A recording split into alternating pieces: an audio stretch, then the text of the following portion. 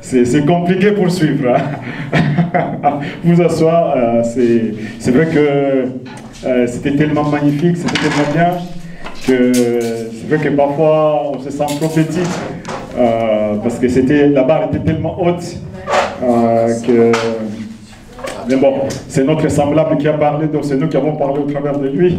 Et je crois que vous allez parler aussi au travers de tout un chacun.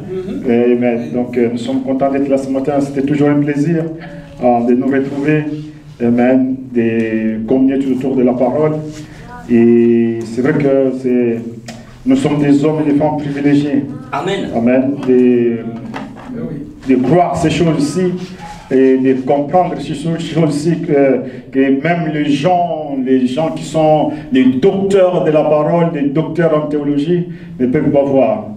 Mais quelque part dans ce monde, dans une petite ville, avec Genève, dans un sous-sol, il y a des Élois qui sont là, Amen, euh, qui communient avec la, euh, autour de la parole et qui comprennent les profondeurs de la parole. Amen. La Bible dit que nous connaissons la pensée de Dieu. voyez, donc, et nous sommes ces pensées d'ailleurs exprimées. Amen. Nous allons prendre les Écritures, euh, nous allons lire dans des Corinthiens. Vous savez, quand Frère Michael parlait tous ces jours-ci, vous voyez, au fait, euh, comme Frère Bernard dit qu'après l'ouverture des sceaux, la Bible est devenue un nouveau livre. Nous pouvons voir ces nouveaux livres-là. Amen. Avec une compréhension différente, avec une compréhension très claire de la parole. Et cela nous aide à avancer et cela nous élève aussi. Amen. Amen. Vous voyez, parce que nous comprenons la compréhension non pas par notre propre intelligence, mais par la parole, par la révélation. Amen. Ainsi, nous allons continuer toujours sur cet élan parce que c'était tellement formidable, c'était tellement magnifique. Euh, il y a des commentaires des gens qui sont de loin, que nous ne connaissons même pas, qui sont émerveillés devant ce que frère Michael a prêché. J'ai vu des commentaires, waouh, d'où il vient ce monsieur-là? Oui, mais il est toujours là dans ce monde. Il est à Genève, si vous le cherchez. Si vous le cherchez, il est ici à Genève. Hein. Il vient de l'éternité. Ah, il, il est ici à Genève.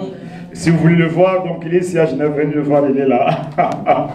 Michael, nous t'aimons beaucoup. Vraiment, merci pour. Euh, nous ne te flattons pas. De toute façon, nous ne sommes pas là pour flatter des gens. Mais c'est une réalité, c'est quelque chose de sincère. Nous aimons quand tu nous parles, euh, tu nous parles des profondeurs que, que parfois nous nous étonnons. Où est-ce que tu, tires ça? Où est-ce que tu vas chercher ça Où est-ce que tu vas pousser ça? Hein? Mais vraiment, sois richement béni, frère. Euh, je crois que dans les prochains jours, tu vas nous amener encore des choses formidables, des choses magnifiques. Vous savez, ça, ça fait du bien d'être entouré de la parole.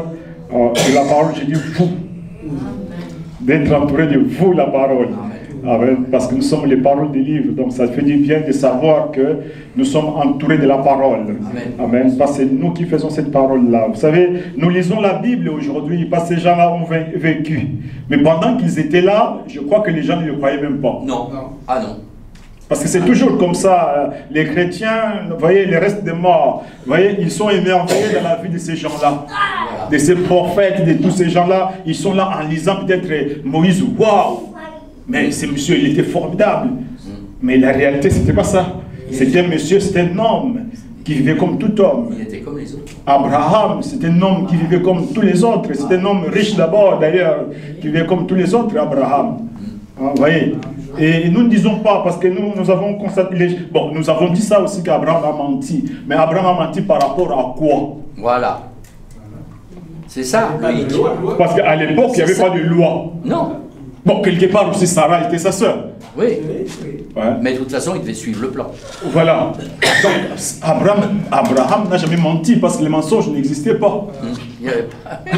Parce qu'il n'y avait pas de loi qui déterminait. Quand tu dis ceci, tu, tu mens. La loi n'était pas là. Voilà. Bon, nous ne sommes pas là. Mais nous sommes dans 2 Corinthiens chapitre 5, 2, 5, 2 Corinthiens chapitre 5. Je crois que ce sont des, choses que nous connaissons. Euh, voilà. Ce sont des choses que nous connaissons, mais en lisant cela, nous avons découvert qu'il y a quand même des pépites euh, qui, qui sont là, qu'on n'a jamais fait attention. Alors, nous sommes dans 2 Corinthiens chapitre 5, nous commençons au 12e verset jusqu'au 19e. Alors, c'est Paul qui parle aux Corinthiens. En fait, c'était destiné aux Corinthiens, mais quand nous lisons ces choses ici, nous pouvons voir que Paul avait, en fait, Paul avait une révélation tellement haute qu'il pouvait voir mm. des choses qui allaient venir. Oui. Voyez Il dit ceci, nous ne, nous ne nous recommandons pas de nouveau nous-mêmes auprès de vous, mais nous vous donnons occasion de vous glorifier à notre sujet. Écoutez, afin que vous puissiez répondre à ceux qui tirent gloire de ce qui est dans les apparences et non dans le cœur. Amen. Ça, c'est bien dit. Ça, c'est bien dit. Hein? Afin que vous puissiez répondre à ceux qui tirent gloire de ce qui est dans les apparences et non dans le cœur. Oh, quand nous lisons ces versets-ci, nous voyons ce qui se passe entre guillemets les églises du message, et vraiment, je crois qu'ils euh, sont vraiment loin de la réalité. L'habit ne fait pas le moine. Ah, ils sont vraiment, parce que exactement, nous sommes arrivés, nous vivons pleinement avec des pharisiens. Oui, Amen. C'est des pharisiens. En fait, quand nous remarquons les gens, les églises, la manière dont ils vivent, en fait, c'est les mêmes esprits, parce que les esprits ne meurent pas. Amen. En fait, ça a changé seulement le corps. Voilà, c'est l'apparence. En fait, c'est ces esprits-là qui sont incarnés dans les églises, qui, qui, sont là pour, pour parler que de, la chair. Voilà, c'est ça. Pour parler que du corps, pour parler des, apparences. Et remarquez combien nous avons fait des hypocrites dans ces soi-disant églises. Oui, oui. Nous avons dit aux gens de bien s'habiller, mm-hmm. de ne pas fumer, de ne pas boire, de ne pas faire ceci, cela. On avait cru que ces gens-là étaient des croyants. Voilà. Mais on les a fait simplement des sépulcres blanchis. Amen. Nous avons blanchi la surface. Voilà, c'est ça. Mais le, le cœur sont loin de Dieu. Sont loin de la parole. Parce qu'ils ont cru que en se, comportant d'une certaine manière, en se conformant, hein, ils ont la vie éternelle. Mais tout ça, c'est la chair. Hum, Or, la chair ne, sert à rien. Non, C'est l'esprit qui vivifie. Hum, exactement. Voyez Donc, arrêtons avec les apparences. Parce que les apparences sont trompeuses. Amen. Et nous remarquons cela, nous avons remarqué, nous continuons à remarquer cela, que parfois des hommes et des femmes que nous avons vus, que nous avons admirés d'une manière physique, mais au fur et à mesure les temps passent, nous découvrons que ce qu'ils sont vraiment. C'est la réalité de la chose. Voilà, exactement. Oui, parce que les temps, c'est, quelque part, c'est les temps. C'est un révélateur. C'est un révélateur. C'est comme la photo. Nous pouvons paraître physiquement tellement magnifique, tellement bon, parler correctement, parler loyalement, parler dignement. Hein? Euh, mais au fait, au fond, vous savez, vous ne pouvez pas euh, euh, changer votre nature. Voilà. Voyez, continuons la lecture de la vie. Il dit, 2 Corinthiens 5, 13, en effet, si je suis hors des sens, c'est pour Dieu. Amen. Si je suis de bon sens, c'est pour vous. Amen. Oui. Ça veut tout dire. Écoutez. Ça veut tout dire. Parce que quand nous allons vraiment dans la parole, la, la vraie parole, c'est une folie. Oui. Devant les humains. Devant les gens du monde. Et c'est difficile qu'une personne puisse croire la véritable parole, puisse croire une véritable révélation. Parce que ça paraît toujours être bizarre. C'est quelque chose qui est toujours contraire à ce qui se passe. À ce qui se pense, qu'il pense. C'est comme ça. La vraie parole a toujours été contraire. Nous pouvons eh, voir dans les temps. Tous les prophètes qui venaient avaient toujours un message qui était contraire à ce qui existait. Que ce soit le Seigneur Jésus-Christ, dans sa chair, quand il était là, son message était contraire. son message était comme un message des, bandits. Hein? C'est lui qui ne mange pas ma chair et qui ne boit pas mon sang, n'a pas la vie. Mais vous vous rendez compte? Dire aux gens de manger la chair d'une personne, en plus il dit ça en public. ici on t'arrête. Mais on t'arrête, donc toi tu as des intentions maléfiques. Il faut t'interner parce que sinon tu vas tuer beaucoup de gens. Tu es un cannibale. un malade mental. Donc c'était un message qui était hors contexte religieux. Amen. Ah oui, tout à fait. C'était contraire à la religion. Mais continuons simplement, c'est très intéressant. Il dit, car l'amour de Christ nous presse, nous presse parce que nous estimons que si un seul est mort pour tous, donc tous donc sont morts, et qu'il est mort pour tous, afin que ceux qui vivent ne vivent plus pour eux-mêmes, mais pour celui qui est mort et ressuscité pour eux. Ainsi, dès maintenant, nous ne connaissons personne selon la chair. Et écoutez, ça ce qui est grave, il dit, et si nous avons connu Christ, Christ selon la chair, maintenant nous ne les connaissons plus de cette manière. Donc nous balayons tous ces gens-là qui attendent Jésus comme il était en Israël. Donc si vous, vous attendez Jésus, vous allez dire que Frère Branham l'a dit. Oui, il l'a dit. Mais Frère Branham aussi, euh, c'était, je peux dire, ça va vous choquer peut-être, mais c'était, il était quelque part, il était religieux. Quelque part dans les âges de l'Église, il est venu en tant que messager de l'âge de la Odyssée avec une compréhension parfois charnelle des choses. Parce qu'il était le messager des âges de l'Église. C'est la raison pour laquelle nous disons que une fois que les, âges de l'Église prennent fin, y compris celui de la, Odyssée, leurs messagers aussi prennent fin. Amen, bien sûr. Donc, quand l'âge de l'église de la Odyssée a pris fin, Branham, en tant que messager de l'âge de l'église de la Odyssée, a pris fin. Amen. C'est la raison pour laquelle nous ne faisons pas référence à l'église de l'Odyssée ou bien aux âges de l'église. Parce que l'Odyssée était un des âges des églises. Exactement. Qui avait son message aussi. Voilà, message propre. Amen. Amen. Donc, ça, nous ne marchons c'est pas que nous manquons du respect envers, envers Frère Abraham, non, non, nous les respectons en tant que prophète de Dieu, en tant que messager de l'âge de, de, de, de et, et en tant que prophète, nous les respectons. Mais néanmoins, Branham, avec les, parce qu'il était le messager de l'âge de l'église de l'Odyssée. Alors que lui-même a dit que l'âge de l'Odyssée a pris fin. Mm-hmm. Et l'âge de l'Odyssée, dans tout ce qui était dans l'âge de l'Odyssée, c'est contraire même à la véritable révélation de la parole. Donc faire référence à l'âge de l'Odyssée, vous êtes, vous, en fait, vous devenez des antichrists. Amen. Vous devenez des antiparoles. Parce que quelque chose qui est contraire à la parole est démoniaque. Bien sûr. Antiparole, c'est antichrist. Amen. Continue, il dit, ainsi, Dès maintenant, nous ne connaissons personne selon la chair, et si nous avons connu Christ selon la chair, maintenant nous ne les connaissons plus de cette... Vous vous rendez compte, ça c'est à l'âge de... C'est Paul qui parle de choses, ces choses-ci. À l'âge des fesses. Hein? C'est Paul qui parle de ces choses-là. Ah Donc nous ne connaissons plus Christ selon la chair. Donc, d'autres termes, nous pouvons dire que Jésus ne peut plus venir selon la chair. Dans la chair dans laquelle il était ce jour-là. Bien sûr. Bien sûr. Amen. Nous, oh. majestueux. Hein? Attends, vous vous rendez compte que même les, les, disciples qui étaient sur le chemin d'Emmaüs, ils n'ont même plus reconnu Jésus, la bonne forme qu'il avait avant sa mort. Alors ça s'est passé qu'il y avait seulement trois jours. Ah? Attendez, une personne qui était avec eux, qui vivait avec eux, qui mangeait avec eux, trois jours après sa mort, il est ressuscité, il a changé de forme. Ils ne le reconnaissent pas.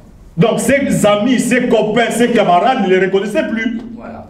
Et nous avons bien aimé eh, comment frère il a pris eh, ces versets-là dimanche passé. En fait, Jésus, quand il est apparu, ce pas, il n'était pas apparu à la, à, la masse. Non. C'est seulement qui devrait, les gens qui devraient le voir. Et il apparaissait à ceux qui pouvaient le voir. Voilà, c'est ça. Et même ça, il changeait parfois de forme. Dans cette forme, parce que quand il est venu, il a montré les clous, parce que Pierre voulait voir des plaies. Il a montré les plaies. Hum. Hum, il a changé ah. aussi. voyez Mais par, contre, quand il entrait dans la salle, il n'avait pas besoin qu'on ouvre la porte. Voilà, il passe à travers voyez hein? Donc, euh, connaître Jésus aujourd'hui, que oh, nous, Jésus de Nazareth, mais ça c'est, d'après d'ailleurs Paul, d'ailleurs, dans, dans les premiers âges, là, c'est déjà contraire à la parole. C'était l'agneau, c'est tout. Hein? Parce que, et, vous remarquerez que Paul, c'était quelqu'un qui n'a pas connu Jésus dans la chair. Non. Il n'a pas vu comme ça charnellement. Mais c'est l'apôtre qui a été plus puissant. Amen. Parce qu'il l'a connu dans sa vraie forme à lui. Voilà. Amen. Exactement. Hein? Dans sa première forme. Hein? Paul n'a jamais connu Christ comme cela. Non. Mais il l'a vu, il l'a connu donc, au temps de l'Ancien Testament quand il était la colonne de feu. Exactement. Et il s'est identifié à Paul. Donc Paul, quand il voyait la colonne de feu, il voyait que c'était Jésus. Parce que de toute façon, ce n'est pas Paul qui l'a dit, c'est la, colonne de feu qui l'a dit. Je suis Jésus. C'était le Père Jésus-Christ qui était là. Parce que ne confondons pas, c'est ça aussi le problème que nous avons dans ces messages. Nous confondons, entre Jésus et, Jésus de Nazareth et Jésus-Christ. Je l'ai toujours dit. Et la colonne de feu non plus, et non plus n'est pas Dieu. Non. Non plus. C'est une forme simplement parce que personne ne peut voir Dieu et vivre. Amen. Frère Branham ne peut pas être Dieu, mais c'est une forme que Dieu a pris pour se révéler, pour se manifester aux gens. Donc, si vous adorez Branham en tant qu'humain, si vous adorez Jésus en tant qu'humain, vous êtes quelque part démoniaque. C'est foutu. Parce que nous ne connaissons plus Jésus sur la chair. Même quand bien même il vient dans, cette, euh, dans, sa seconde venue, dans sa troisième venue, ce n'est plus dans la chair. Donc, nous pouvons voir Branham manifester toutes les, les attributs de la divinité. Tout ce qu'il a fait ça, nous croyons et c'est vrai. Mais Sénat, Branham, corps n'a rien à voir avec ça. Voilà, il n'a rien à faire. Il, a fait, il, a rien il est comme Marie, il était porteur. Exactement. De la vie. Ce n'est pas moi qui fais ces choses, mais c'est le Père qui demeure en moi. Oui. Donc Branham en tant qu'humain, nous, quand nous nous regardons Branham, nous ne voyons pas la femme, la, le, mari de Meda, ou bien de Hope, ou bien de papa de Billy Paul. C'est pas ça que nous nous voyons. Nous voyons Jésus-Christ manifesté aujourd'hui. Dans un corps. Dans un corps de chair.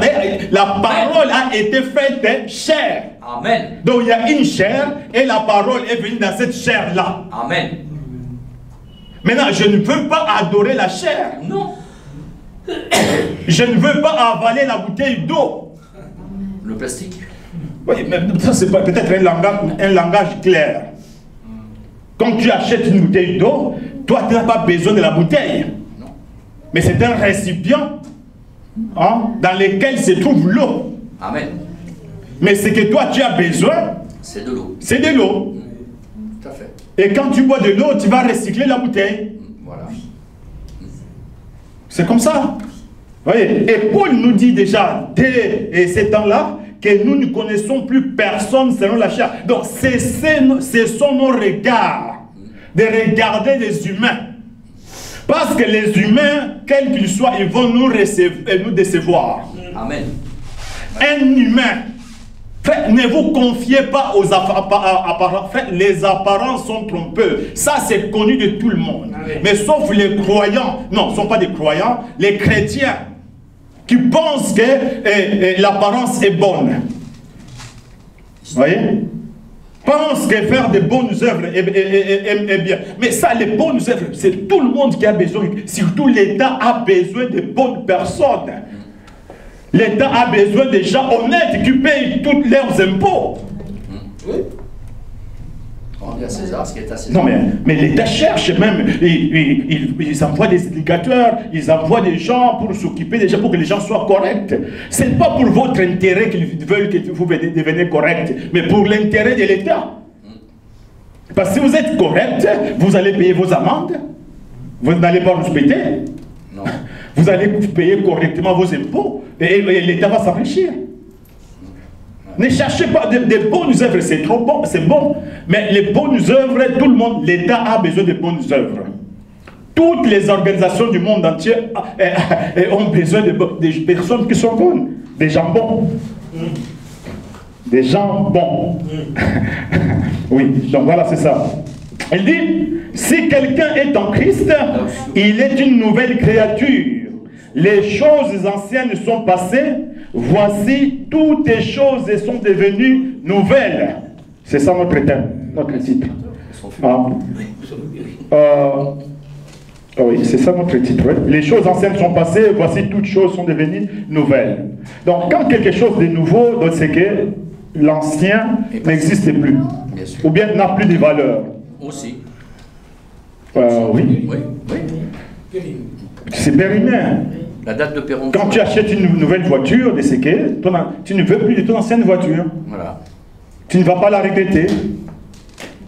Parce que parfois ça va créer beaucoup d'ennuis. et tu veux te débarrasser de ça, mais c'est fini, c'est démodé. Tu veux t'acheter de nouveaux vêtements parce que les anciens, euh, soit c'est expiré, c'est foutu. Tu achètes de nouveaux. Tu ne vas pas prendre un pantalon troué euh, pour mettre à la place des nouveaux pantalons. Ou bien une nouvelle chemise, ou bien quelque chose comme ça. Mais quand, donc, les choses anciennes sont donc, toutes choses anciennes sont passées. Amen. Amen. Hein? Et voici, toutes choses sont devenues nouvelles. Donc, il y a un nouveau peuple, un nouveau monde, tout est nouveau. Un nouveau ciel, une nouvelle terre, hein? Tout, tout, une nouvelle révélation. Amen. Oui. Oui, oui, Amen. Parce que tout ce qui est ancien n'est plus. Hmm, c'est passé. C'est passé. Voire même, il y a certains animaux qui changent, qui, des serpents, beaucoup d'animaux, quand, quand tu, sont devenus vieux, ils vont quelque part, ils restent là, euh, et puis ils se changent des, des peaux. Ils changent de peau, ouais. ils muent. Oui. Donc, les choses anciennes sont passées, voici toutes choses sont devenues nouvelles. Amen. Il dit, et tout cela vient de Dieu qui nous a réconciliés avec lui-même, avec lui par Christ, et nous a donné le ministère de la réconciliation. Car Dieu était en Christ réconciliant le monde avec lui-même, en n'imputant point aux hommes leur offense, et il a mis en nous la parole de la réconciliation. Oh, Dieu était en Christ pour réconcilier tout. Tout. Et Dieu a mis cette parole de réconciliation en nous. En nous.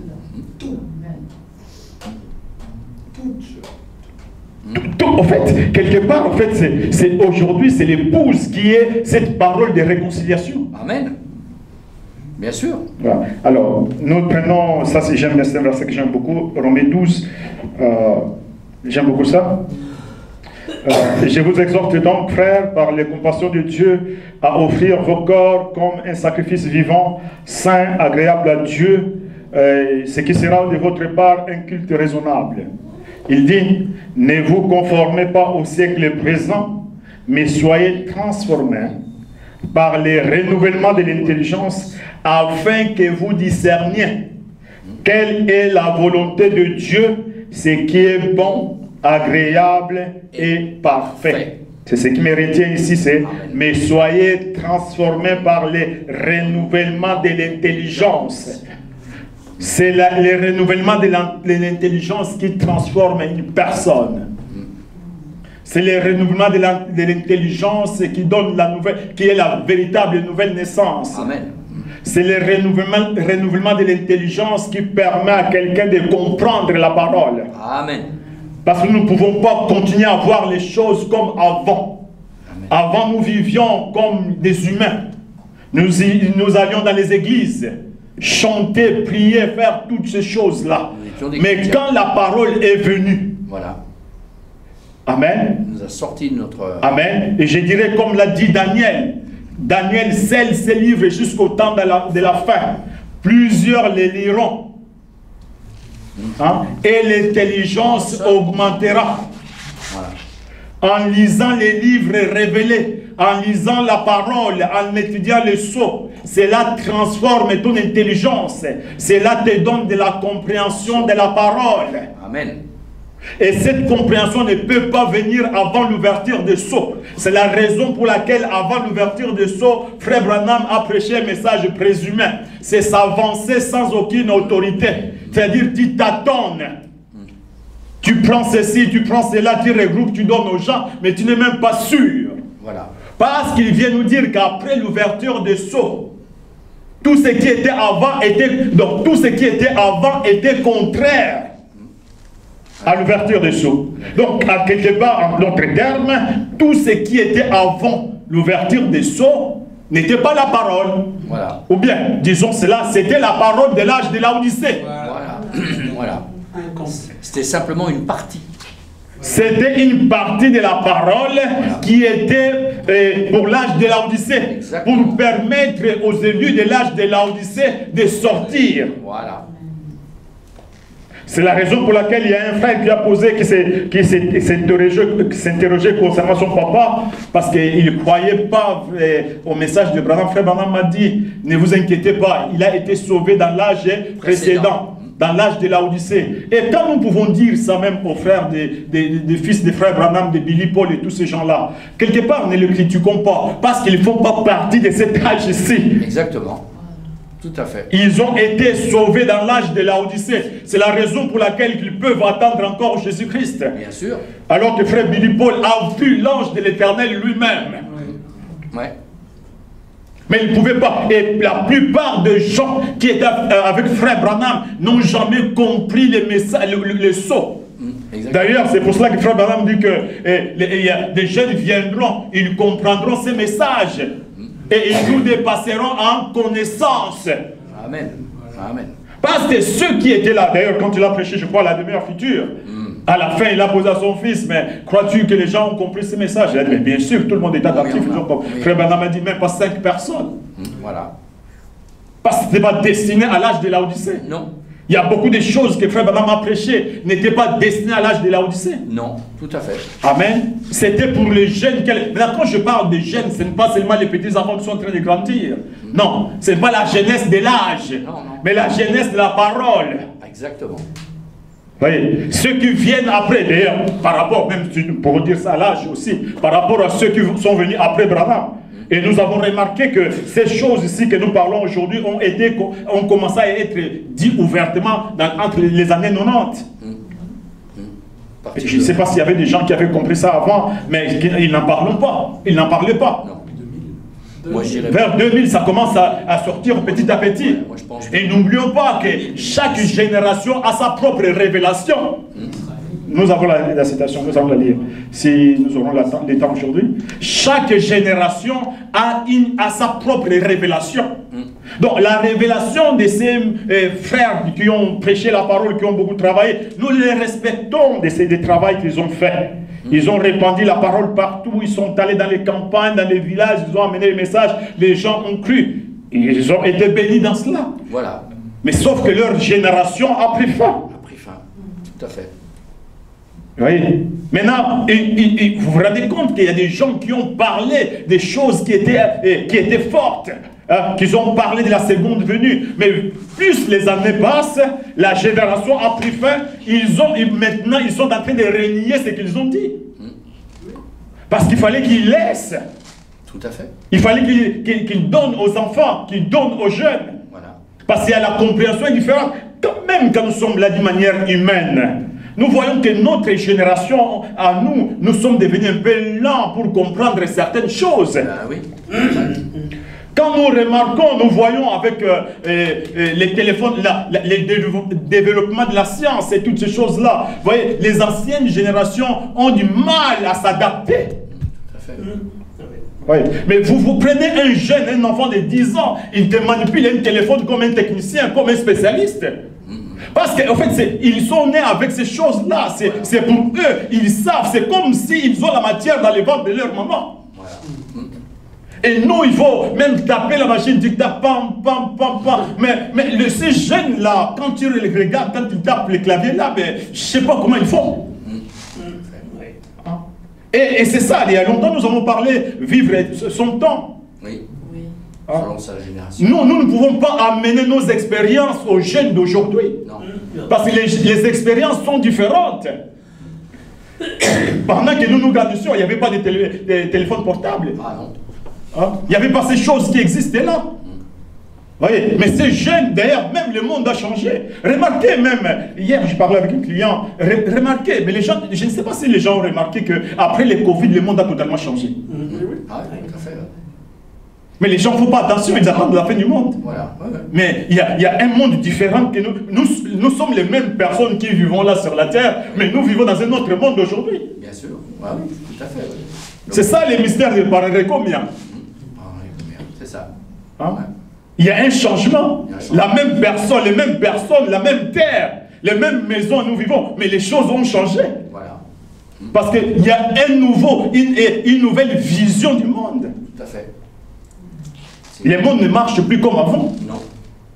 Moi, je suis presque allé sur la route tous les jours, je suis là. Nous voyons que même les comportements des, des, utilisateurs de la route sont devenus très, très, très, très, comment, agressifs. Les gens sont devenus très méchants, très agressifs. Et puis, les gens s'en fichent, quoi. Hmm.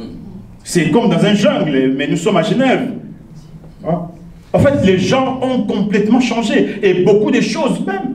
Vous voyez hein? Ne vous conformez pas au siècle présent, mais soyez transformés par les renouvellements de l'intelligence, afin que vous discerniez quelle est la volonté de Dieu, ce qui est bon et agréable et parfait. Sans les renouvellements de l'intelligence, tu ne peux pas avoir un bon discernement. Exactement. Amen. Hein? Tu vas prendre toutes les choses dans les mêmes paniers. Mais une fois que l'intelligence est renouvelée, une fois que Dieu est né de nous pas, c'est ça qu'il s'agit, la vraie nouvelle naissance, c'est là maintenant tu commences à comprendre, ah, ah ça, ça signifiait ceci, ça c'est ça. Avant on regardait que l'Égypte longue, maintenant ce n'est plus, oui, ce n'est plus l'Égypte longue, frère. Bien que c'est bon pour les gens, euh, parce qu'il il y a des gens qui me disent toujours que moi je parle toujours aux sœurs qui portent l'Égypte longue. Oui, je, je parlerai toujours contre tant que les gens ne changeront pas. Hein, parce que les gens ont pensé porter des Excusez-moi les sœurs, c'est pas parce que euh, c'est ça qui est plus remarquable. Hein. Parce que les hommes, nous sommes toujours en jeans, en costume, cravate, ça n'a pas beaucoup changé. Mais nous voyons, nous remarquons directement quand une personne croit les messages, surtout les femmes, elle commence directement à dire plus longue. C'est très bien. Mais cette longue ne vient pas du cœur. Ça ne sert à rien. Exactement. vous pouvez mettre des burkas, des soutanes, tout ce que vous voulez. C'est bon pour le religieux, pour la religion. Exactement. Mais la parole n'a rien à foutre avec ces histoires-là. D'ailleurs, c'est ça que nous venons de lire ici. Hein. Nous ne pouvons plus faire, plus confiance aux apparences des humains. Nous en avons assez les apparences des humains. Ça nous a tellement trompés qu'on a fait confiance aux apparences des humains et aujourd'hui nous commençons à remarquer les natures des gens. Amen. Voyez, alors, j'ai pris cette citation que le frère a donnée dimanche passé exposé des sept âges de l'Église, euh, chapitre 9, je crois, l'âge de l'Odyssée. Il dit, l'homme, même s'il appartenait à l'ancien ordre, à l'ancienne création, est maintenant devenu, par son union avec Christ, la nouvelle création de Dieu. Amen. Amen. Ah, Amen. Parce que si nous remarquons, parce que vous, vous constatez que nous ne parlons pas beaucoup des, des pentecôtistes parce que ça ne nous intéresse pas. Hein? Nous parlons plus de ces gens-là, euh, des morts-là qui, qui, sont censés croire le message. Euh, bon, continue la pensée à échapper, mais ça va venir. Il dit, et maintenant devenu par son union avec Christ, la nouvelle création. Voilà. L'homme, Amen, qui appartenait à l'ancien ordre, mais par l'union avec Christ par l'union avec la parole, par l'ouverture des sceaux, Amen. devient une nouvelle création. La même personne. Mm-hmm. Physiquement. La même personne physique. La même personne physique. Ce n'est pas parce que tu commences à être chrétien que tu changes de nom. Ça, ça sert à quoi? Tu t'appelais cochon, maintenant tu deviens Daniel. Non, mais après, les noms, tu changes de nom, mais ça signifie quoi? Mais, la nature de Daniel n'est pas en toi, tu as toujours la nature du cochon. Il est passé du nom de cochon au nom de porc. Euh, oui, c'est ça en fait. Parce que nous avons remarqué cela. Oh, il était quelqu'un, la famille le connaît dans un autre, euh, par, un autre nom. Mais quand il a pris les messages, il devient, ou que je ne cite pas certains noms, peut-être les gens seront, bon, disons, il devient le Caleb. Et, oui. il devient le il y a même des gens qui ont changé le nom de Ambranam. Hein? Ah Avec les disciples de Branham. Hein? Oh, moi je deviens monsieur Cox. Moi, moi je deviens ceci, cela. Tu connaissais la personne qui portait son nom. Et son nom, tu connais la signification des noms? Parce que chaque nom a une signification. Oui. Et, et les noms est aussi par, rapport parfois à la nature de la personne. Vous voyez? Mais la même personne. Le changement ici, c'est de pas que tu deviens, moi qui suis noir, je deviens blanc ou bien vice-versa. Mais c'est la même personne qui travaille dans un certain endroit, qui va toujours au travail, mais cette personne devient une autre personne. Une nouvelle création, pas l'ancienne création, parce que celle-là, c'est fait de la vieille nature. C'est venu par les sexes. C'est venu par, euh, par l'humain, par la pensée humaine. Mais cette nouvelle création, ce n'est pas cet corps-là qui est la nouvelle création. C'est une autre personne différente de la première. Voilà. Hein? Ça, nous sommes toujours dans le mystère des parerecomia. Parce que Frère Banam dit, Paul dit que le monde passera avec fracas. Et Frère Banam dit que les gens pensent, qu'en lisant ces versets, que le monde et le ciel vont passer comme ça. Non, non, non, non. C'est toujours la même terre. D'ailleurs, nous allons y vivre. Mais ça a pris une autre forme. Même après le déluge, hein, c'est toujours la même. Hein? Il dit, car nous sommes son ouvrage ayant été créé en union avec Jésus-Christ pour de bonnes œuvres. Éphésiens 4, 24, et à revêtir l'homme nouveau créé, créé selon Dieu dans une justice et une sainteté que produit la vérité. Il dit, cette nouvelle création n'est pas l'ancienne création remodelée, car elle ne pourrait alors pas être appelée une nouvelle création. Elle est exactement ce qu'il est dit qu'elle est. Une nouvelle création. C'est une autre création distincte de l'ancienne. Il ne, il ne traite plus selon la chair. C'est-à-dire que cette personne-là qui est créée n'est pas une personne charnelle. Amen. Amen. Et cette personne-là ne traite pas, même Dieu ne traite plus avec la chair humaine. Amen. Parce que la chair humaine, dès le départ, est pourrie. Amen. La chair humaine ne peut pas être sainte. Non. La chair humaine ne peut pas changer d'elle-même. Amen. Remarquez combien de fois nous avons pris des décisions. Nous avons fait des vœux. Surtout les premières. Surtout les premiers de chaque année. Je ne ferai plus ceci, je ne ferai plus cela, avec l'enthousiasme de la fête, n'est-ce pas? Hein? Je ne ferai plus ceci, je ne ferai pas cela. Deux jours après, même d'ailleurs, même pas deux jours, quelques heures après, il a repris ses, ses, vieilles habitudes. Parce que c'est normal, tu as pris ça par ta, nature humaine nature, comme tu disais. Hein? C'est la nature humaine, donc tu prends des décisions par ta nature humaine, tu fais des choses selon ta nature humaine, et ça t'amène toujours à la mort. Toujours. Toute décision que nous prenons par notre intelligence, par notre forme humaine, ça nous détruit. Amen. Intellect. Hein. Oui. Mais cette nouvelle créature, c'est toi, mais sous une autre forme. Amen. En d'autres termes, c'est en fait c'est une forme parce que la, la a toujours été. Tout à fait. C'est la raison pour laquelle nous n'avons jamais été sauvés. Bien sûr. Frère dit que les sang nous a jamais sauvés. Amen. Les sang nous a gardés sauvés. Nous a gardés sauvés. C'est des choses différentes. Ah oui, oui. Hein? C'est comme Frère Madame dit quand un, homme devient Christ, non, non, il dit qu'à tous ceux qui l'ont reçu, il a donné le pouvoir de devenir enfant de Dieu. Frère Branham dit non, non. Ce n'est pas le jour que tu as reçu Jésus-Christ de devenir enfant de Dieu. Il dit que tu, il a donné le pouvoir de reconnaître. Tu sors de ton amnésie. voilà. De reconnaître que je suis fils. Voilà. Pas enfant, parce que nous avons tellement été enseignés entre enfant et fils. Ce sont des choses différentes. Excellent. Enfant, c'est la chair humaine, mais fils, c'est la théophanie, c'est Dieu lui-même. voyez Il dit, voilà. Il dit, voilà, c'est une, c'est une autre création distincte de l'ancienne. Il ne traite plus selon la chair. C'est-à-dire que quand les sceaux s'ouvrent à l'ouverture de la parole, à la venue des, des à la venue des, des Messies, à la venue des, des croyants, Amen, des fils, ça ne concerne plus la chair humaine. Exactement. C'est vrai que les gens sont choqués quand on dit ces choses ici. Ils vont dire, ah voilà, c'est pour ça qu'ils font des choses bizarres. Parce que c'est ça qui nous taxe, non? Quand on croit ces choses ici, oh, de toute façon, la chair ne sert à rien. Oui, la chair ne servira à rien. Hum, exactement. Nous n'allons pas changer. On ne va pas changer la, les versets. Ah, la, chair ne sert à rien. De toute façon, c'est la réalité. Hein. C'est l'esprit. Hum. Ah, c'est pas pareil. C'est le cœur, ce n'est pas ce que tu fais, c'est qu'on voit. Hum. Et comme le dit la Bible, le cœur de, le cœur de l'homme est tortueux. Qui peut le connaître? Exactement. Mais extérieurement, tout est, tout est parfait. Extérieurement, rien à dire. D'ailleurs, peut-être tu peux être un modèle pour les gens d'une manière physique.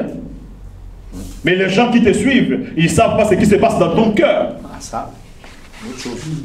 Ah oui. Ah, c'est autre chose. C'est ça la chose. Les gens sont extérieurement apparaissent très de bonnes personnes. Ils font de, bons, de bonnes œuvres. Ils font de bonnes choses. Ils parlent, ils, donnent- ils conseillent des gens. Mais à l'intérieur, c'est- il est pourri jusqu'à la moelle. Hein? Et c'est ça les chrétiens. Parce que le christianisme aujourd'hui, c'est- c'est comme l'islam. C'est une religion des apparences. Tout à fait. Ah ouais. Tout à fait. C'est ça le christianisme aujourd'hui. Ils vont, ils prient beaucoup, ils chantent beaucoup, ils adorent beaucoup, ils vont beaucoup à l'église. Mais quand on regarde les fonds, quand vous commencez à titiller un peu la parole, Oula ils vont, faire- ils vont sortir leurs leurs griffes. Voyez? Et c'est que- ça que nous, nous devons faire eh, attention. Même moi qui vous parle, frère, je ne suis pas meilleur que vous. Peut-être que je suis pire. Peut-être vous me voyez, je me comporte bien, je parle, je ne sais pas, d'une certaine manière, parfois je suis plus mauvais que vous. C'est pour cela que vous, la, la Bible, la parole aura toujours raison. Amen. Maudit c'est lui qui fait, eh, qui, qui fait, qui, se confie en l'homme. qui se confie en l'homme. Ouais. Maudit soit celui qui se confie en l'homme. Maudit c'est lui qui se confie à l'homme Branham, à l'homme Jésus. Si vous vous confiez à ces hommes-là, vous êtes morts. En plus, vous êtes maudits. Amen. Parce que nous ne pouvons pas enlever l'écriture. Ah non Parce qu'il n'y a rien de bon dans l'homme. C'est Dieu qui vient dans l'homme pour agir. Je disais quelque part ce matin, il y a quelqu'un qui glorifie Frère Branham, qui adore, donc son Dieu c'est Branham. Il donne l'exemple que c'est vrai, nous avons lu cela, nous avons vu cette chose-là, qu'il y a ce monsieur qui ne vous croyait pas en Frère Branham, ils étaient deux qui sont partis à la chasse, et puis c'est lui qui ne croyait pas, Amen. Et il s'est retrouvé qu'il y a une main qui a touché sa, sa, sa- sa- son dos. Et, et la main a dessiné C'était la main de Frère Branham. c'était la main de Frère Branham. Quand ils, ont amené la chemise à Frère Branham, parce que c'est Frère Branham qui a dit à la personne qui amène la chemise, euh, il a posé sa main, c'était sa main. Mais c'est normal que ce soit comme cela. Mais où est- où- où- où- qu'est-ce qu'il y a d'étrange là? Ouais. Mais c'est normal parce que Dieu habitait dans ce corps-là. C'est pour ça, d'ailleurs, comme Frère l'a dit, c'était- c'est pour ça que c'était le Branham tabernacle. Voilà, bien sûr. Ah oui. Parce que Dieu demeurait dans Branham. Voilà, Dieu a pris la forme de la bouteille. exactement.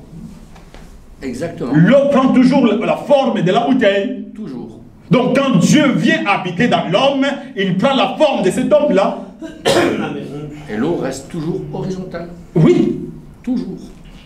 Quel que soit les Non, euh, en quoi c'est vrai, c'est étonnant. Mais les gens qui sont avertis, les gens qui ont la compréhension spirituelle de la parole, ils ne peuvent pas se- s'étonner de ces choses-là. Ce sont, ce sont des choses normales.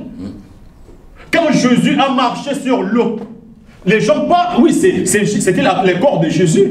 Hein? Mais c'était Dieu qui était sa- ce corps-là qui, qui marchait dans l'eau. Bon, c'est vrai que c'était sa chair à lui qui marchaient qui marchait, oui. sur, sur l'eau. Ouais. C'est celui qui a marché sur l'eau. Mais c'est le Père qui était là, Bien dans sûr. ces corps-là. Amen. C'est comme ça, ça a toujours été comme ça. Les prophètes, quand ils viennent, ce n'est pas les messages d'un prophète. Non. C'est Dieu, parce que Branham n'a pas, la- pas la- le pouvoir d'ouvrir le seau. Non. Nous devons faire la différence entre l'ange terrestre et l'ange céleste. Amen. Mais quand il vient, il faut que cet ange terrestre soit là. Parce que Dieu, c'est un esprit. C'est la raison pour laquelle Frère Branham dit que, Amen, avant de commencer quoi que ce soit, nous devons comprendre la divinité. Exactement. Dieu reste esprit, il restera toujours esprit qui utilise des humains. Amen. Parce que sans un homme, Dieu n'existe pas. Dieu ne peut rien faire. Amen. C'est la raison pour laquelle il fallait qu'Adam soit là. Amen. Pour qu'Adam puisse créer. Amen. C'est pour ça que Jésus devait être là. Amen. Hein? Parce que la Bible dit nous ne sommes pas sauvés par les sang d'un juif. Non. Ou bien de qui que ce soit. Ah non. Nous sommes sauvés par le sang de Dieu. Et d'ailleurs, c'est normal parce que c'était le sang de, Dieu lui-même qui est venu euh, tabernacler dans le sein de Marie. C'était le seul sang innocent. Hein? Ouais. Bon, de toute n'était pas juif non plus. Voilà, c'est ça la chose. Quand nous, nous, nous, nous échappons à cette chose-là, nous sommes morts. Ah, c'est pour cela que les gens, jusqu'à aujourd'hui, continuent à glorifier des hommes. Ah oui. Notre pasteur, notre évêque, notre ceci, croyant que c'est cet évêque-là, cet homme-là qui fait des choses. Alors que tous ceux qui ont, qui ont vraiment servi Dieu dans la sincérité, ils les disent, ce n'est pas moi. Oui. Mais en commençant par Jésus lui-même. Ouais. Ce n'est pas moi qui fais les choses. Si vous ne croyez pas, croyez au, au miracle. Ce n'est pas moi qui fais les miracles, mais c'est le Père qui est en moi. Amen. Et Frère Branham dit, je n'ai aucun pouvoir de guérir qui que ce soit. Amen. C'est le Père qui habite dans l'homme qui agit. Il dit dans les sauts de Pâques, il dit 111, et il n'y a aucun démon, aucune église, aucune théologie qui puisse franchir les limites de la preuve et du certificat incontestable établi par Dieu, les baptêmes du Saint-Esprit. Et en parlant du baptême du Saint-Esprit, je crois qu'on doit aller un peu plus loin. Amen. Parce qu'aujourd'hui, nous croyons que tu peux être baptisé du Saint-Esprit, mais tu es un incroyant. Tout à fait. D'ailleurs, ces choses-ci, quand nous euh, remarquons le troisième exode. Frère Bram, dans le message du troisième exode, il dit que, Amen, euh, et, Moïse a fait sortir Israël d'un pays naturel pour les amener dans un pays naturel. Hmm. Ça reste naturel. Et Jésus est venu faire sortir des gens d'un système euh, pour les amener au baptême du Saint-Esprit. Et le message aujourd'hui, l'épouse, nous fait sortir du baptême du Saint-Esprit. Sortir du baptême donc nous devons sortir du baptême du Saint-Esprit. Ce n'est pas aujourd'hui que nous allons parler de, que les gens soient baptisés du Saint-Esprit. De toute façon, c'est un baptême. Ouais, ça reste un baptême. Hein? Mais là, là, nous allons, nous devons sortir du baptême du Saint-Esprit pour aller dans ces glorieux pays éternels du millénium. Pas dans le millénium, mais un pays glorieux éternel. Et du, glorieux futur. et du glorieux futur. Parce que le millénium reste dans le septième âge de l'Église. Amen. Ne vous glorifiez pas d'être dans les milléniums, parce que si vous êtes encore dans les milléniums, par là vous prouvez que l'âge de la Odyssée n'est pas encore fini. Amen. Et vous, voyez exactement. Ne vous glorifiez pas, parce que nous avons nous constatons que moi je suis dans les milléniums. Non, mais et depuis les gens qui ne croient pas des milléniums, parce que de toute façon ce sont des incrédules, ils ne peuvent pas croire. Parce que les milléniums, justement, c'est le septième jour. Amen. Amen. Hein? Ce n'est plus l'homme qui travaille, mais c'est Dieu qui travaille dans l'homme. Exactement. Et le frère Madame a été clair, les milléniums, c'est dans l'âge de la Odyssée, le septième âge de l'Église. Amen. Amen. Mais nous devons sortir de ce septième âge de l'Église. Et nous sommes sortis déjà. Parce qu'aujourd'hui, c'est l'âge de... C'est le huitième jour. Hein? Et nous entrons dans l'éternité qui n'a pas de fin. Hein? Et frère Madame dit que c'est comme il a pris cet exemple de, de, quoi? De fusée. Ça explose, explose, explose, explose, explose. Parce que nous avons, nous avons cru au millénium, nous sommes sortis du millénium, nous sommes allés dans l'éternité. Mais nous remarquons que là, il y a des choses qui, qui avancent, qui viennent, qui viennent, qui viennent. Parfois, on parle de quelque chose, mais nous allons dire quoi encore? Parce que de toute façon, toutes les, choses sont connues. mais comme ça, l'inspiration vient, on, avance. Voilà. Et des nouvelles choses sortent. Parce que quand nous voyons la manière dont Michael nous a amené ces choses-ci, qui a cru que nous allons arriver à ce point-là. Mm, mm, mm. Et chaque fois, il y a une inspiration qui arrive, il y a une inspiration qui arrive, ça nous amène encore plus haut. Et les gens qui vont venir, les jeunes là qui sont là, qui sont en train de grandir, ils vont voir d'autres choses que nous, nous ne voyons pas aujourd'hui. C'est comme ça. Nous ne pouvons pas nous limiter parce que quand vous vous limitez quelque part, c'est là où vous faites une dénomination. Aujourd'hui, il y a une dénomination qu'on appelle les gens qui sont dans les milléniums. Hein? Euh, et les gens sont sortis de ces milléniums croyants maintenant disant qu'ils sont dans le huitième jour de l'éternité. Mais nous remarquons que, Amen, parce que les œuvres sont l'expression de la foi. Amen. Ça, c'est bien vrai. Quand nous remarquons la vie qu'ils mènent, bien qu'elle soit sainte, entre guillemets, parce qu'ils mentent déjà, parce qu'ils ne sont pas des saints, hein, mais leur réaction devant des situations, nous pouvons remarquer que ce sont des margoulins. Voilà. Amen. C'est des, des, malhonnêtes. ça, c'est une malhonnêteté. Ah oui, tout à fait. Ah. Tout à fait. Parce qu'un croyant qui est sorti de ces histoires-là, qui est dans le huitième jour, ce n'est pas une personne limitée. Non. Il n'y a aucune limite. Nous sommes illimités. Et c'est nous qui faisons ces choses. C'est nous qui sommes la parole. C'est vrai qu'ils vont dire, mais toi tu as fait cela, tu as fait cela, tu as fait ceci. Rien à foutre avec cela, frère. C'est mon corps. Humainement, j'ai fait des erreurs, tout comme nous tous, nous allons faire des erreurs. Mais qui connaît mon cœur, mais qui connaît ton cœur, mais qui que ce soit? On ne s'est jamais vu. On ne s'est jamais vu, on ne se connaît pas.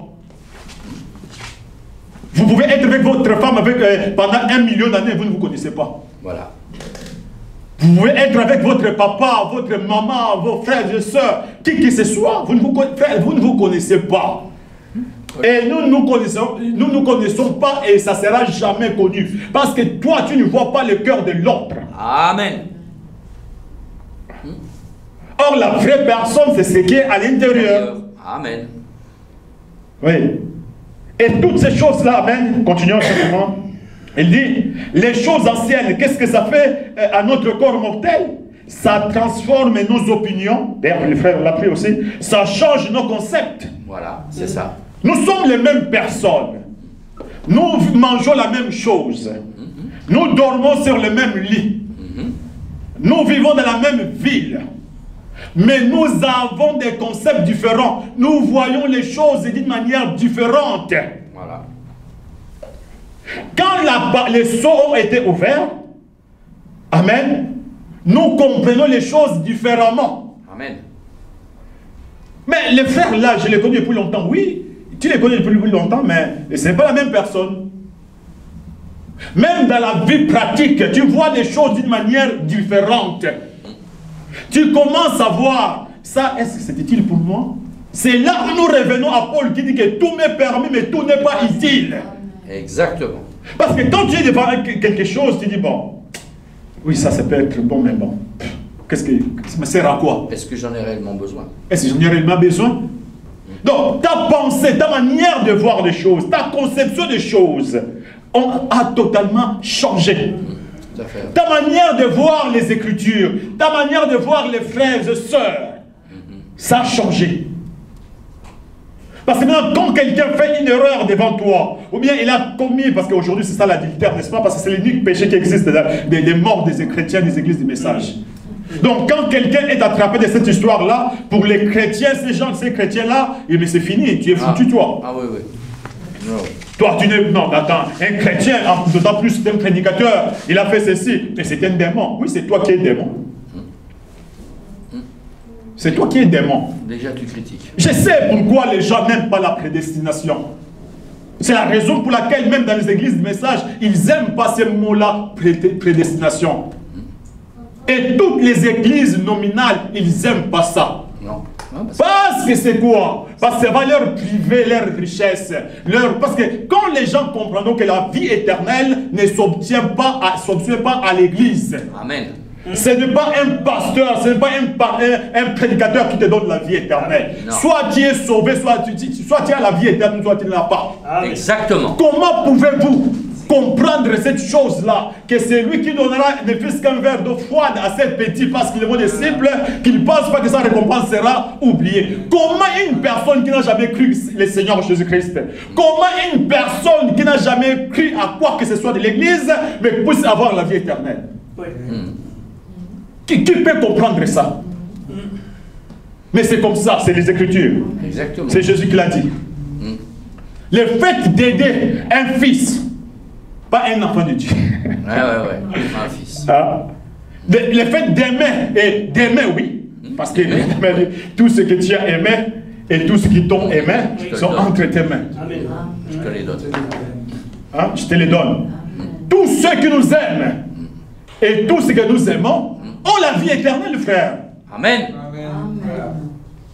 Tous ceux qui nous soutiennent que ce soit dans le bien matériel, moral, physique ou quoi que ce soit, ces gens-là ont la vie éternelle.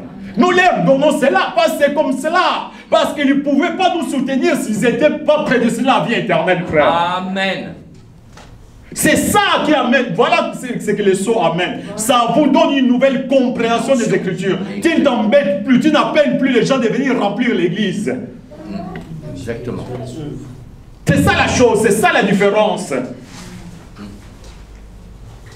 Tu es dans les besoins, un frère, un bien-aimé qui te donne quelque chose. Ça, cette personne-là, il a été prédestiné. Il savait que toi, tu allais exister à cet endroit-là. Donc, les choses ont été préparées pour que quand tu seras dans une difficulté, cette personne vienne à toi. Amen. Pour que tu puisses hériter cette vie éternelle. Amen. Sans croire votre message. Sans croire à un, je ne sais pas quel pasteur. Même la personne la plus... J'ai cherché quelque chose comme ça, j'ai dit à frère Franck, euh, il m'a dit que oui, mais la personne est raciste. Je lui ai dit, va, la même, va quand même, va lui demander. Et la réponse, il voulait la chose, non, c'est moi qui n'ai pas voulu. Tu te souviens? Je vais te rappeler là, frère, la réunion. Hein? Tu as travaillé avec lui, et là. Oui, oui, oui. Oui, tu te souviens maintenant. Oui. Hein? Mais il m'a dit, mais, mais la personne est raciste. Et je pense pas qu'il va. J'ai dit, va quand même lui dire. Et le monsieur n'a pas refusé ce que je voulais, mais c'est moi qui n'ai pas voulu. C'est ça, c'est ça, c'est ça les mystères, c'est ça l'ouverture des sceaux. Vous êtes tranquille, vous ne vous embêtez pas. Amen. Que les gens te croient ou pas, rien à foutre. Ah, exactement. D'ailleurs, nous parlons, comme dit Branham, nous parlons d'une certaine manière à ce que certaines personnes s'en aillent. Exactement. Qui nous laissent la paix. Voilà, qui nous foutent la paix. Qui nous foutent la paix. Voilà. Voilà que les autres réfléchissent. Exactement. A certaines personnes qui veulent détruire une frère. Nous n'allons pas lâcher, quels que soient les problèmes, nous ne lâcherons jamais cette parole-ci. Non, on va leur couper les ah, griffes. oui. On va leur couper les griffes. Que les gens fassent des pièges, que les gens fassent ceci, cela. Oh non, non, nous allons, nous, nous sommes, là c'est nous. Pourquoi, comment voulez-vous qu'on laisse, que je laisse ça alors que c'est moi? Hum, Exactement. c'est sur la parole. Vous pouvez faire tout ce que vous voulez, les complots, tout ça. Non, non, vous, vous perdez votre temps. Ils ont perdu d'avance. Nous allons continuer.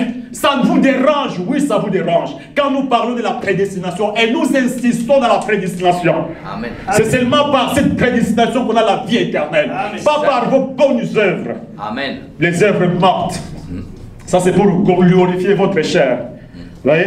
Il dit euh, les choses anciennes, euh, euh, ça, oui, ça transforme nos opinions. Amen. Par rapport même à la parole. Toi, tu dis, oh non, nous attendons Jésus avec les, avec les clous, tel qu'il était à Jérusalem. Oh, regardez-moi ça.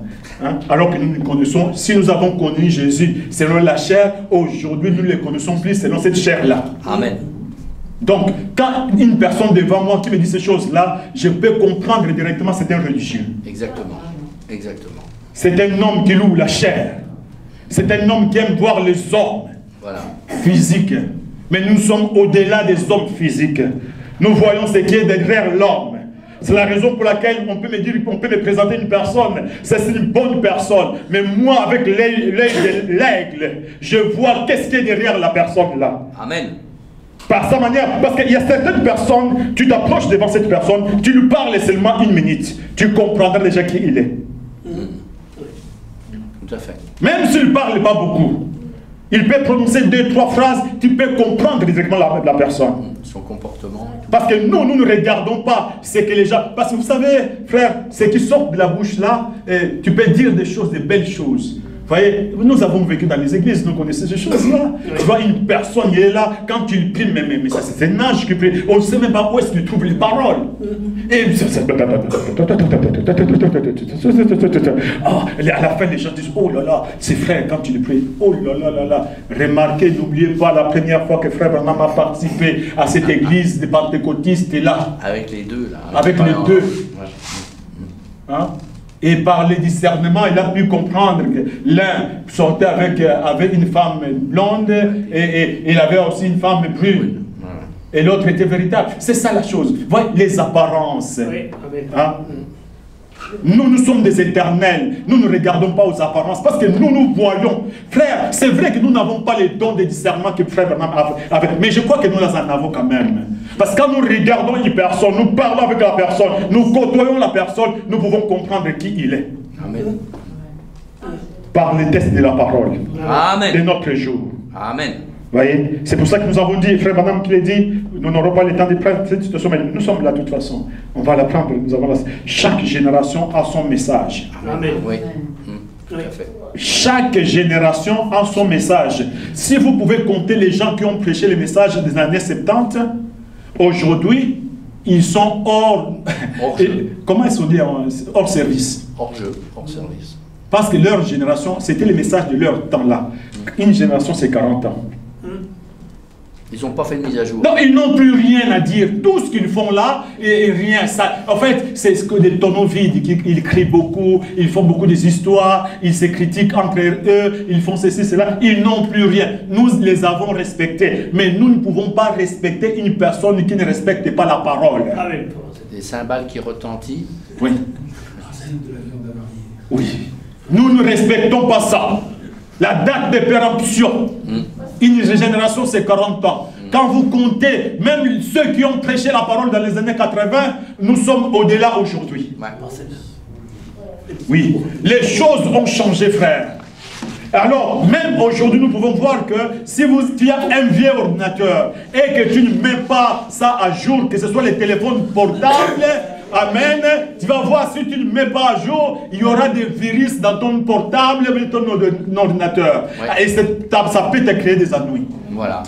Il faut tous les jours mettre à jour. Il faut que nous soyons toujours à la page. Il faut toujours vivre à ton jour, là, aujourd'hui. N'est-il pas vrai que la Bible dit que chaque jour suffit sa peine? Amen. La chose qui était hier, les messages d'hier n'est plus les messages d'aujourd'hui. Amen. Les messages de millénium n'est plus les messages d'aujourd'hui. Nous sommes au-delà du millénium, frère. Nous sommes au-delà des âges de l'Église. Nous sommes au-delà de toute pensée humaine, frère. Hein? voyez, il dit, il dit, et vous, vous êtes, et vous êtes vivifiés. Et cette puissance vivifiante met votre corps dans l'état d'être enlevé des. Amen. voyez? Nous sommes, frère, la parole a toujours été claire. Mais les gens n'aiment pas ces choses. Pourquoi? Parce qu'ils n'ont pas été prédestinés à croire ces choses-ci. Ils peuvent vociférer dans les églises, faire des grandes déclarations, aller participer dans les campagnes d'évangélisation, comme l'autre fois nous l'avons dit. Pourquoi nous ne allons plus dans ces histoires-là? Parce que nous avons compris que c'est du bluff. Ils vont dans ces conventions, ils vont dans ces réunions-là parler des prédicateurs qui ne sont pas là. Vous n'allez pas dire que c'est faux parce que nous, y avons, nous avons participé. Hein? Et puis, quand vous allez dans ces histoires-là, ils vous donnent une ligne à suivre. Il ne faut pas sortir de la ligne. Parce que si tu sors de la ligne, nous avons fait l'expérience, quelque part nous étions en Pologne. Frère Marcel était là, n'est-ce pas? Avec frère Franck. Parce que nous n'avons pas suivi la ligne. Et ça crée des problèmes. Mm. Alors que les croyants qui étaient dans la salle étaient contents de la parole, Amen. Mais les, chefs religieux n'ont pas digéré cela. Hmm. Parce qu'ils perdent, perdent leur, leur influence. Leur influence, tout à fait. Et cette influence-là, ils sont populaires, ils gagnent de l'argent. Mais nous, nous faisons ceci, non pas pour gagner de l'argent, non pas pour être... Avec ça, tu ne seras pas populaire de toute façon. Ah non. ça c'est sûr. Hein? Tu ne vas pas, pas, gagner de l'argent avec ça. Ah, ça Parce que tous les hommes riches vont fouiller. Ah oui. Mais nous avons quand même quelqu'un qui est quand même important, qui est là, qui, nous apporte encore des bonnes choses, qui n'a pas fui. c'est ça la beauté de la parole. Mon frère Bernard dit qu'une eh, salopette peut, eh, peut être à côté d'un costume. Hein, et s'appelait frère. Amen. Amen. Et un vieux tissu calico avec euh, un manteau de fourrure peuvent être ensemble et s'embrasser, dire oh ma soeur. C'est ça la parole. Et ça, c'est la, la véritable parole qui amène cela. Amen. Amen. Que nous ne regardons plus, c'est que nous sommes dans la chair, mais nous regardons, c'est que nous sommes en Christ. Amen. Parce que nous sommes un. Amen. C'est juste. C'est vrai, dans la chair, tu peux être président de la République, tu peux être ministre ou quelque que ce soit. Mais quand nous nous rassemblons autour de la parole, ce n'est plus l'histoire des... C'est vrai que nous lui devons du respect, parce que c'est quand même une autorité. Mais nous sommes frères et sœurs. On va l'appeler notre frère. Amen. Voilà, c'est ça. Et remarquez, quand nous, avant l'ouverture des sceaux, remarquez tout le monde. Oh, j'ai beaucoup aimé le frère quand tu l'as parlé du tour de Babel. Ah oui, oh c'est bon. Remarquez quand nous avons cru le message. Il suffit qu'on entende que c'était une soeur du message, c'était un frère du message, on s'empressait. On s'empressait d'aller écouter. Hein? On s'empressait, on, était ensemble, on mangeait ensemble, et, Dieu a vu hmm, ces gens-là. Non, non, il faut, faut les disperser. Les sons sont venus, boum. on commence à parler un, langage différent. Parce qu'avant, nous avions le même langage, non? L'amour fraternel. voilà. Hein?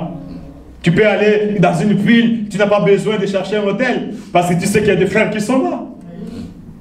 Tu te présentes, je suis frère tel, je viens de là. Oh, bien-aimé, viens. Il y a une chambre là, tu dors. Hein? Tour de Babel. Nous avons construit, nous sommes arrivés même au ciel. Ouais. Mais hum, ça ne marchera pas. Boum Les sauts sont arrivés. Ah, oh, Jésus est venu. Oh, il n'est pas venu. Vous commencez à vous battre. Tu vas dans une ville, oh frère, je suis là. Tu appelles frère. Oh oui, je suis au travail, je vais t'appeler après. Parce que c'est le même langage. Voilà. Mais je crois que c'était le plan parfait de, l'éternel. Amen. Elohim. Amen. Amen. Pour justement séparer les boucs. Voilà. Ah, ah, ah. après, oh Non, mais, mais eux, ils deviennent dans le millénium déjà. Donc, vous voyez, ça crée maintenant des problèmes. Donc, le langage a changé. Amen. Amen. Non, j'ai beaucoup aimé cette chose. Quand il a sorti ça, j'ai dit, oh là là, c'est magnifique là. C'était magnifique. C'était formidable cette chose-là. Nous tous, nous étions frères. On ne regardait pas, toi tu crois quoi, doctrine. Tout le monde ensemble. On mange ensemble, nous pouvons faire des, des, des journées entières, des nuits entières en train de parler de la parole. Des conventions. Des conventions et toutes ces choses-là. Mais ah, il a vu, hey, ces gens-là, ils vont risquer de faire quelque chose de bizarre. Donc, les sons sont venus. Et nous sommes dans l'éternité. Hé Toi qui es ici, la terre ici, hein? en plus tu es malade. Ah, tu as attrapé le Covid. Toi, vous voyez, voyez, la chair, alors qu'il a cessé de travailler cette choses-là. Parce que même la parole dit que nous sommes assis dans les lieux célestes en Christ Jésus la parole. Mais ces lieux célestes-là étaient aussi l'église. Parce qu'il y avait des démons dans les lieux célestes en Jésus. Exactement. Les esprits, la Bible dit, les esprits méchants dans les lieux célestes. C'est ça, ces démons qui se trouvent dans les églises. Mais bien sûr. Amen. Hein? Qui commencent à combattre la parole, la véritable parole, cherchent à détruire la parole. Croyant que la parole peut être détruite. Non, mais ce sont des bétons armés. Oh, plus que ça. Je ne sais même pas comment appeler ça, il n'y a même pas de terre, mes frères. Nous sommes ancrés, nous sommes, nous sommes, c'est comme nous les chantons là. Mon âme est ancrée dans, les ports habités. Sur les mers, je n'irai plus. Dans la, les foules, parce que la mer c'est quoi? Les mers c'est quoi? C'est les foules. Je n'irai plus dans les foules. Peuples. Oui, je suis ancré. Amen. Amen. Dans cette parole. Vous pouvez faire tout ce que vous voulez. Nous allons toujours parler. Même si oh, on m'attrape avec un million de femmes, je vais parler. Oui. Rien à foutre ce que les gens disent. Frère, quand nous disons que nous nous en foutons de ces choses-là, ce n'est pas de la rigole, c'est vrai vraiment. Vous savez, il, y a certains, faut arriver à un certain moment, les oreilles sont fermées.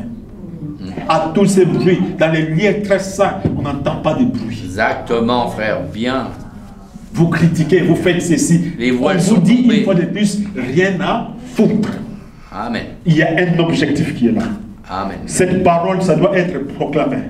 Ça doit être enseigné parce qu'il y a des hommes et des femmes qui sont prisonniers, prisonniers de ces, dans ces lieux célestes-là, qui doivent entendre ceci. Et ces gens-là, ils ne regardent pas qu'elle a fait ceci, elle a fait cela, mais un vrai point de la parole, quelle que soit la personne qui parle.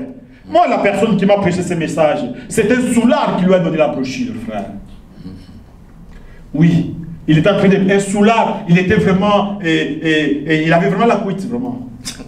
Hein? Et, il était là en train de tituber, mais il avait une brochure. Et en passant, il a rencontré ses frères-là, lui a donné la brochure. Et les frères ont pris le message. Vous voyez? Mhm. Cette femme au puits, qui a été séparée des vierges. Mhm. Hein? Mais ces vierges-là, est-ce qu'ils ont rencontré les Messie? Ah, Est-ce que ces vierges savaient que, quand le Messie viendra, il nous dira ces choses-là? Non.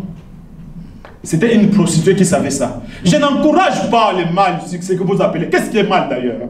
Il n'y a plus de loi. Hein? Qu'est-ce que vous appelez par mal? Hein? Par rapport à quoi? Parce que nous, dans ce que nous croyons, dans l'éternité, là on y entre non par des lois, non par des règles, non par, je ne sais pas, des ablutions ou quoi que ce soit. Nous sommes des hommes sans loi. Amen. Ni ça, ça vous choque. On va vous traumatiser. oui. C'est notre but de vous traumatiser. Que vous soyez secoués. Oh, mais le frère a, a tué quelqu'un. Je sais, je compatis avec la famille de la personne qui a été tuée. Je compatis. C'est vrai. Hein? Les frères, il a tué. Mais ne dites pas que c'était pas un. À loin de là surtout.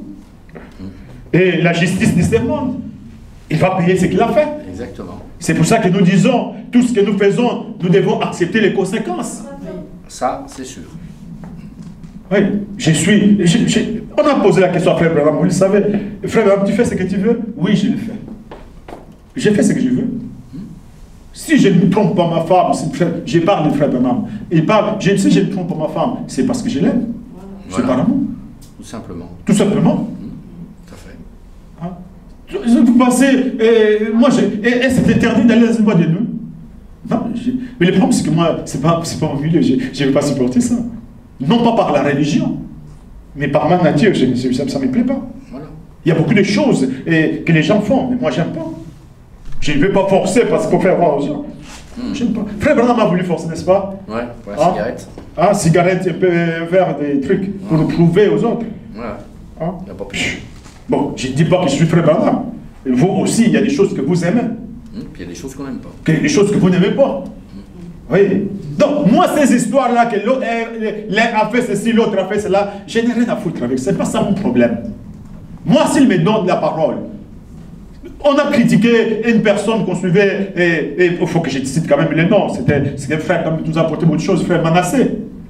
Les gens ont beaucoup critiqué. Est-ce que vous connaissez Moi, je ne suis pas la personne, frère. Je ne, suis pas... je ne serai jamais fanatique d'une personne. Mais quand cette personne-là m'apporte la lumière de la parole, je crois. Amen. J'y vais. Ce n'est pas sa vie, c'est ma, vie qui s'intéresse à cela? Et moi, pourquoi m'intéresser à la vie d'une autre personne? Mais vous verrez que ces gens-là, ces pharisiens-là, ils regardent toujours ce que les gens font. Ouais. Oh, il a fait cela. Elle a fait cela. Il a dit ceci. Elle a dit ceci. Où est ton Et toi-même, tu as dit quoi? C'est pour ça que Jésus, l'autre jour, il a dit à ses, poser la question aux disciples. Les uns disent que je suis eh, Jérémie, les autres disent que le prophète, mais vous, qui dites-vous que je suis? C'est bien beau ce que les gens disent. Et frère, ça c'est, nous vous le savez et nous savons ça. Si notre vie est basée sur les, les, choses que les gens disent de nous, nous sommes fichus. Oula Nous sommes morts. C'est sûr. Si notre vie doit être conduite selon les dires de Jean, frère, tu es mort dès le départ. On est condamné, hein, ça c'est clair. Voyez? Notre vie est basée sur la parole révélée. C'est ça notre vie. Amen. On va, on va clôturer avec cette citation. Il dit, dans la demeure future, il dit, maintenant, paragraphe 176, maintenant remarquez, Paul l'a utilisé. Si vous voulez le lire là, notez-le, vous pourrez le lire plus tard. Dans Tite 3, 5, Paul utilise ce même mot en parlant de, en parlant la régénération de l'homme. il dit que, que l'homme est passé d'un pécheur à un saint, pas complètement anéanti. La même personne, Amen, mais qui a été généré, qui a changé son intelligence, qui a renouvelé son intelligence, en d'autres termes, qui a mis à jour son intelligence. Voilà. La même personne. Frère m'a même dit que même la nouvelle naissance n'a pas ôté, ne m'a pas ôté l'amour de la pêche. C'était sa nature, c'est quelque chose qu'il aimait. Bien qu'il était devenu prophète, il parcourait le monde, il était chasseur, il était euh, comme ça. Il y a des choses qui sont comme ça. Parce qu'aujourd'hui, parce que, parce, pour nous, particulièrement je parle pour nous les Africains, nous voyons ce que les Européens font, peut-être ceci, cela, ça ne nous plaît pas ou bien c'est contre quoi que ce soit. Écoutez, ça, je voulais dire à, mes frères, hein, à mes soeurs, euh, même nous, les Africains, nous avons des habitudes, nous avons des choses que nous faisons qui ne plaisent pas peut-être aux Européens, mais nous avons été, nous, nous sommes faits comme cela, vous êtes faits comme cela, c'est votre nature, vous vivez dans vos pays depuis, ça existe, c'est comme ça que vous vous comportez. C'est comme ça la vie, c'est comme ça, ce n'est pas ça. Vous allez dire, mais la parole c'est pour tout le monde, c'est vrai, c'est pas, pour, pour, tout le monde. Mais chaque nation a son esprit. Amen. Et chaque peuple a l'esprit de cette nation. C'est vrai que nous allons dire que mais nous ne sommes pas obligés de nous comporter comme cela. Mais quelque part, si, tu ne payes pas tes impôts, on va, t'arrêter. Voilà. Ah oui. Si tu ne respectes pas les codes de la rue, tu ne respectes pas les voisins, la nuit tu fais du bruit. Il y a beaucoup de choses qui sont comme ça, c'est inné, c'est naturel, c'est comme cela. Mais quand nous venons ici, nous renouvelons notre intelligence. Et surtout ici, on parle plus par la compréhension de la parole, la faire la différence entre la parole qui est pourrie, qui est passée, et la parole qui est de l'heure. Je ne sais pas si je me fais comprendre. Nous faisons la différence entre les messages de la Nous, nous avions une compréhension selon l'âge de la Odyssée. Mais maintenant, quand nous sommes sortis de la Odyssée, notre compréhension a changé. Nous voyons, c'est comme l'a dit Paul, que les choses qui étaient utiles pour moi, parce que Paul n'était pas un païen, Paul était prédicateur, il croyait en Dieu, il croyait dans la parole, il croyait à la lettre. Mais quand il a rencontré Christ, Christ a changé son intelligence. Christ a renouvelé son intelligence. Tout ce qui était utile pour lui, allait persécuter les gens qui croyaient la nouvelle doctrine. C'était important pour lui. Il fallait défendre la doctrine. Il fallait défendre la loi. Et il n'avait pas tort parce que c'est ça qui était à, à, à, l'œuvre à, ce moment-là. C'était le message de l'heure. Mais quand il a rencontré la colonne de feu, il a été transformé. Amen. Mais il était toujours, il faisait toujours ses tentes. Voilà. Il avait toujours son problème de, euh, euh, de boss là. Oui. Yeux. Non, il avait quelque chose. Euh, oui, mais il avait aussi quelque chose là qu'il a prêché. Des, il a prié dit combien de fois, mais le Seigneur lui a dit Ma grâce te suffit. Ah, mais c'est à propos de ses yeux. Oui. C'est les yeux, quelque chose comme ça va. Non, il avait une bosse derrière aussi. Il, avait, il, avait une bosse, il était bossu. Ah, d'accord. Oui, c'est ça. En fait, c'est ça qu'il a tourmenté. Il a demandé que ça soit, des chars, quelque chose comme ça. Voilà. Il y, a, il y, a, des choses qui sont là, mais en fait, par rapport à la compréhension de la parole, nous avons une compréhension différente. C'est ça qu'on appelle la véritable nouvelle naissance. Voyez, avant, je croyais que Jésus allait venir, il, allait sauter les ciels comme ça, bon, bon, il descend quelque part. Mais maintenant, nous avons une nouvelle compréhension, une compréhension différente de cette vieille compréhension-là, de cette vieille manière de voir les choses. Aujourd'hui, toute chose est devenue nouvelle. Soyez bénis. Nous allons continuer dimanche prochain. Je n'ai même pas fini la citation, mais nous allons continuer dimanche prochain. Amen. Amen. J'ai pris un peu de votre temps. Non, non, c'est 12h07. Ça va